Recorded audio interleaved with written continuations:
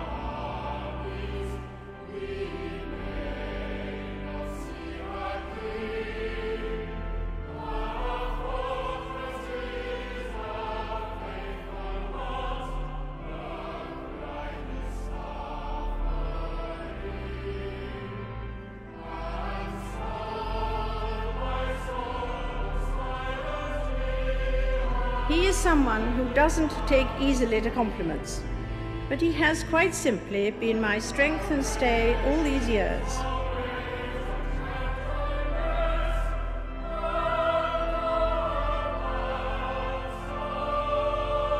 Do I look ill?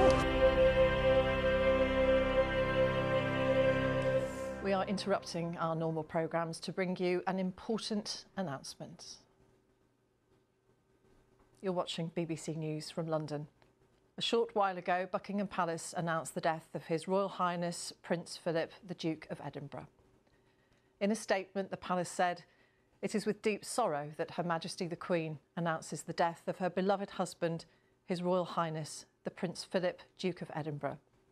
His Royal Highness passed away peacefully this morning at Windsor Castle.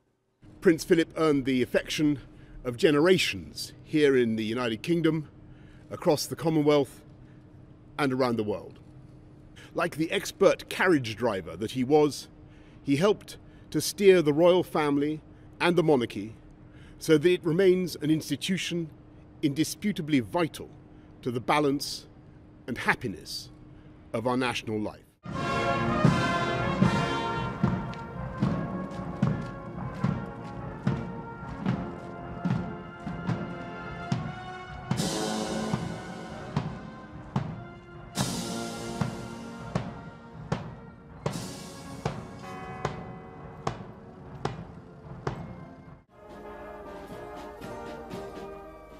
They played Auld Lang Syne for her as Britannia prepared to sail.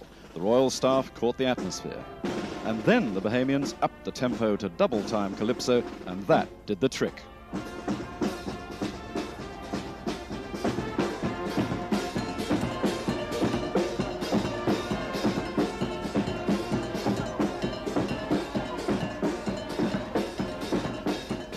Men who caused that most unusual reaction played on as Britannia sailed away.